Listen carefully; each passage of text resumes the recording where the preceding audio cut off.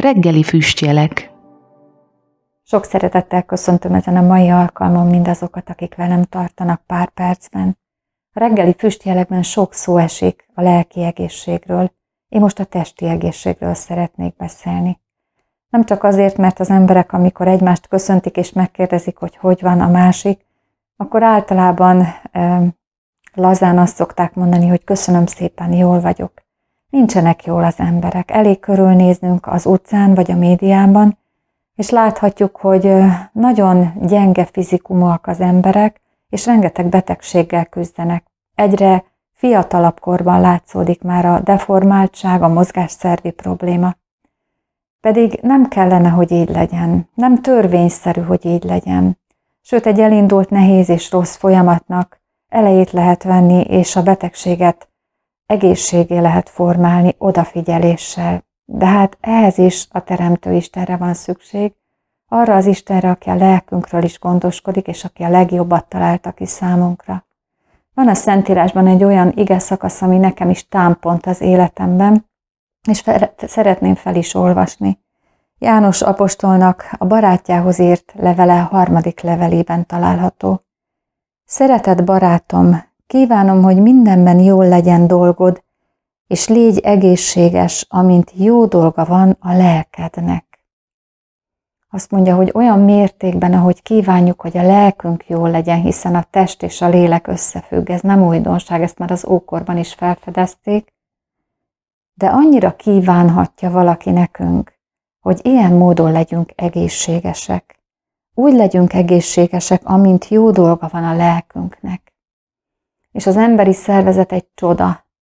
Az összefüggések, a biokémiai folyamatok csodálatos módon kapcsolódnak egymáshoz, pici, igazi, örökérvényű törvényszerűségek mozgatják minden szervünket.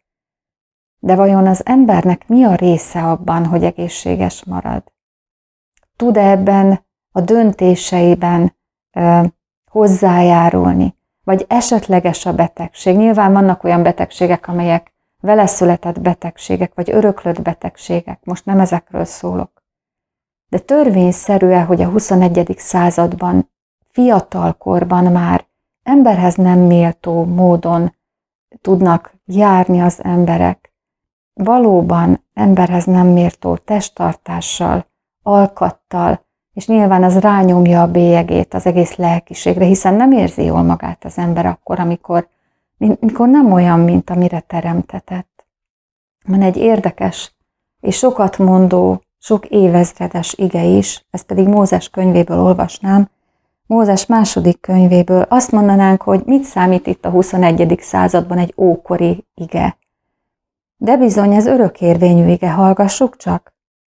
Azt mondta az Úr, ha a te uradnak, Istenednek szavára hűségesen hallgatsz, és azt cselekszed, ami kedves az ő szemei előtt, és figyelmezel az ő parancsolataira, és megtartod minden rendelését, egyet sem bocsátok rád ama betegségek közül, melyek, melyeket Egyiptomra bocsátottam, mert én vagyok az Úr, a te gyógyítód. Ugye a leletek alapján megállapítható, hogy az ókori Egyiptomban olyan civilizációs betegségekkel küzdöttek az emberek, mint, mint amelyekkel most.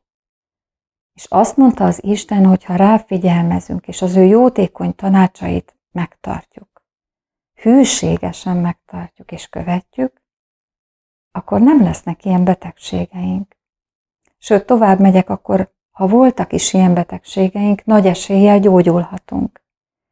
A mai világban nagyon sok helyen van gyógyításra alkalmas ö, meghívás, kínálat, ontja az internet, a televízió a gyógyítási folyamatok sokaságát. Nyilván minden időben voltak olyan elemek és olyan közegek, ahol érdekből, haszonból nyitnak fórumokat, nyitottak fórumokat az emberek, és sokan mennek is ide. De vajon nem a Teremtő Isten tudja, hogy mi a számunkra a legjobb mód? Nem ő rendelte el, hogy mit együnk, hogy éljünk, mi a legjobb a szervezetünknek, és hogy emberhez méltó, teremtettséghez méltó módon tudjunk kinézni is, és lelkünkre is ilyen hatással lenni. Bizony ő adja meg a legjobb segítséget. És egy örömhírrel szeretnék szolgálni itt a végén, azon túl, hogy mindenkit bátorítok és buzdítok, hogy keresse meg ezeket a fórumokat a Szentírásból, ezeket a lehetőségeket, ezeket az igéket, hogy vajon mit adott számunkra az Isten eledelől, életritmusról, és az örömhír pedig az, hogy Magyarországon is van olyan intézmény, ami segít számunkra.